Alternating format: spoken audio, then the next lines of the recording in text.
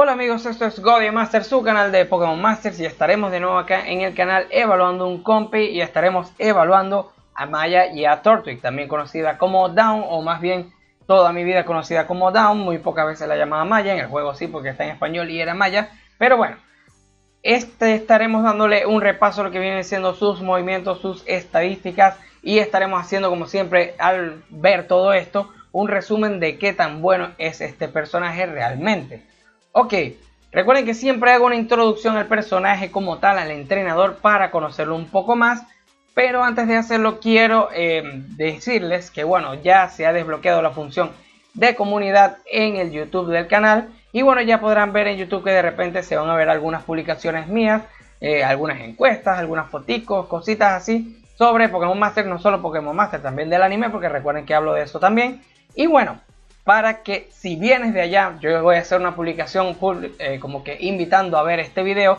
Si vienes de esa publicación, pues te invito a dejar un comentario aquí abajo con una tortuguita y tu opinión sobre Maya y Tortug. Si no vienes de esa publicación, no dejes la tortuguita, pero deja igual tu comentario de qué te parece este, esta pareja combi, porque realmente siempre me gusta ver su punto de vista también.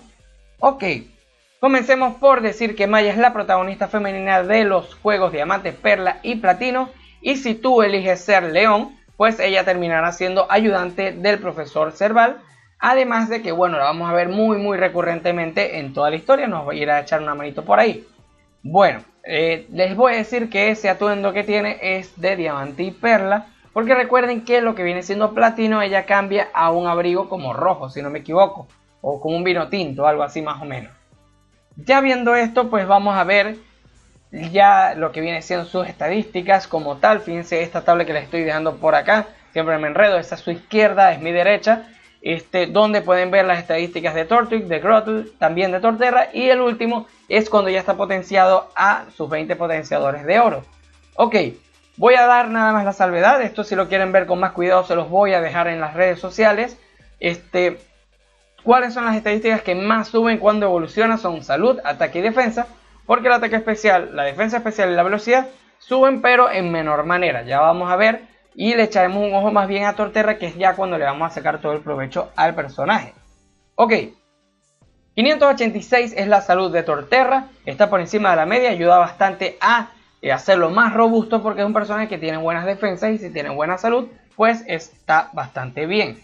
Su ataque es 253 y le voy a dejar una acotación aquí solamente Trico de todos los personajes de planta que tenemos en el juego hasta la llegada de Tortwig, este, tiene más eh, ataque que lo que viene siendo Maya y Tortwig. ¿Qué quiero decir con esto?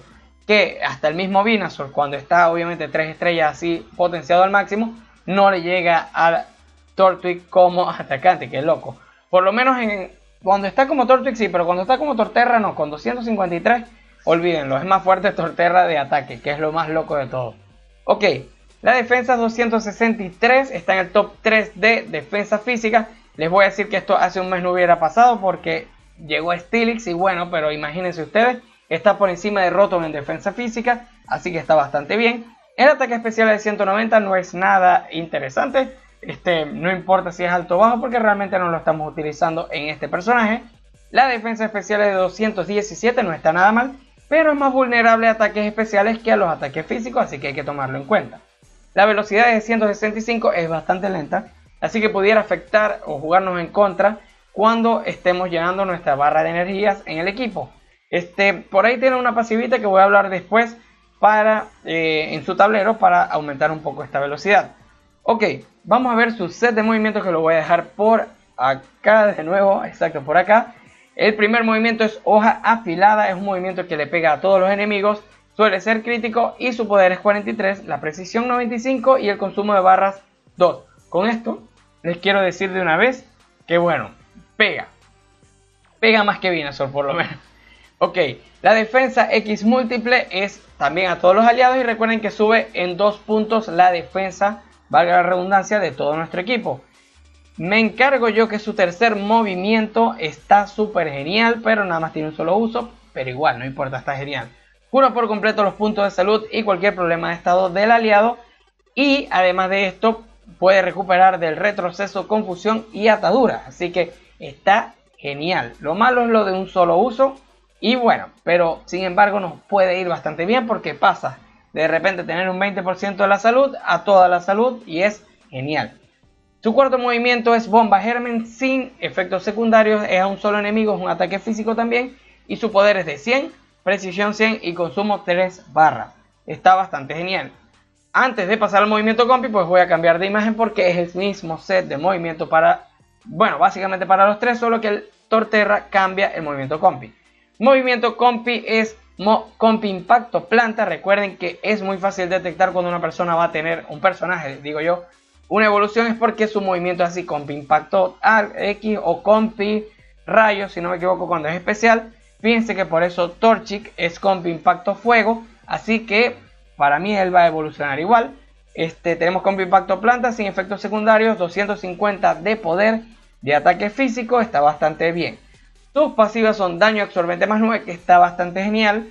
Reduce el ataque del rival y aumenta el propio en igual medida si el usuario es atacado. ¿Qué quiere decir esto? Recibimos daño y le bajamos el ataque y nos lo subimos nosotros. Así que está genial. Esto es súper, súper genial.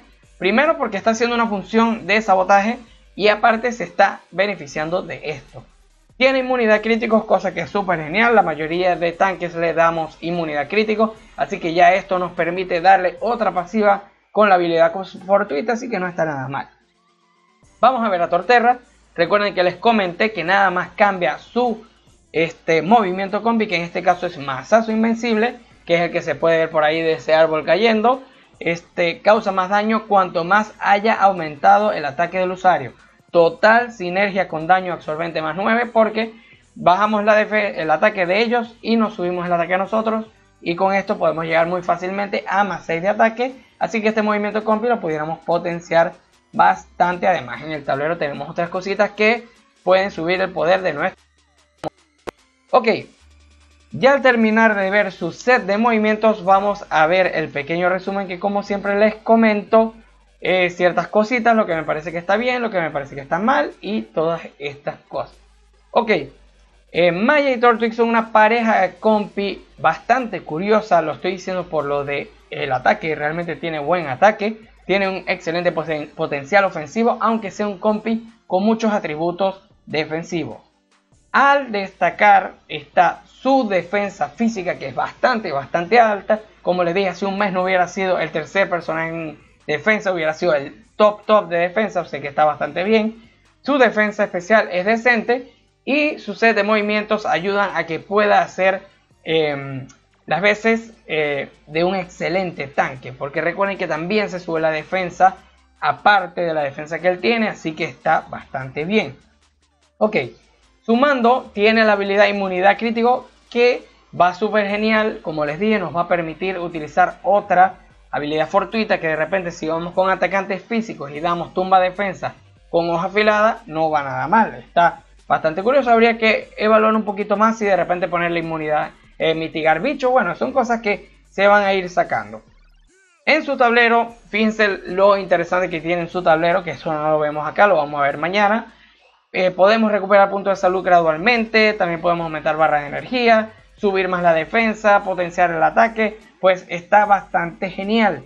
Yo considero que este tablero lo potencia, pero lo más curioso del tablero es que tiene muchas, muchas cosas para irnos por un lado ofensivo, o sea que está bastante curioso, está realmente curioso, por decirlo, ya lo he dicho curioso 500 veces, pero es que realmente es algo innovador un poco.